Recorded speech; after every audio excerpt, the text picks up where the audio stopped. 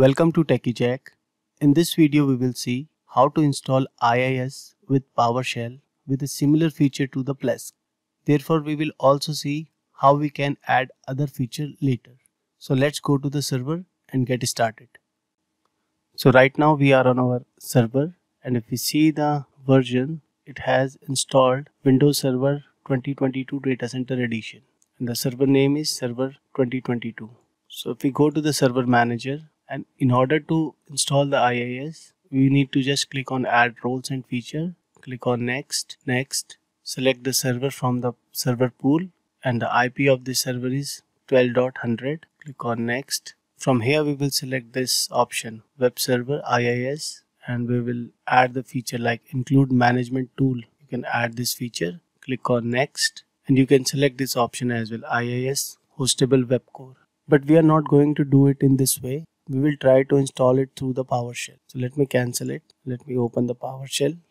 We need to run this commandlet and we'll hit enter. This will install the IIS feature just similar to the Plesk.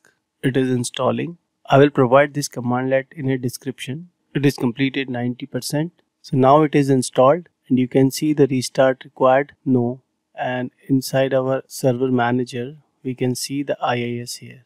You can see the IIS is installed now. If we run this commandlet get windows feature web where installed state is equal to installed. It will display the feature we have installed.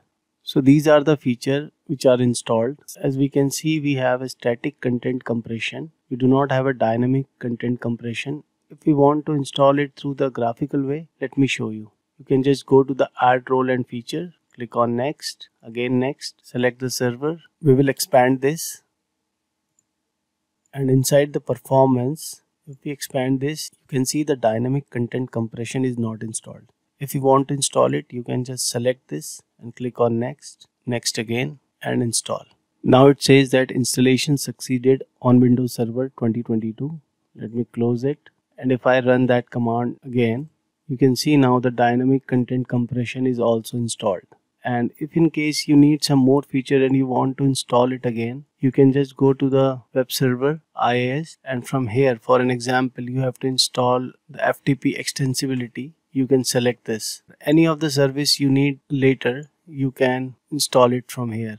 Checkbox indicate that these are installed.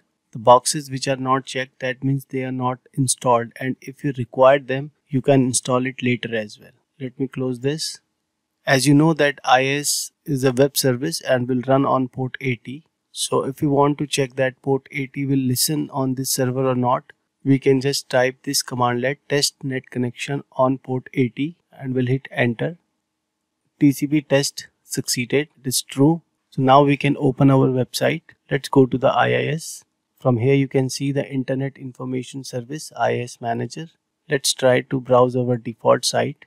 This is our default site and if we click on browse you can see our IIS page has been loaded. We will explore more on IIS in our next videos. For this video the IIS installation has been done. I hope the video was informative. Let's meet in the next video. Thanks for watching. If you enjoy this video and want to see more, don't forget to subscribe and ring the bell icon to get notified whenever I post new content.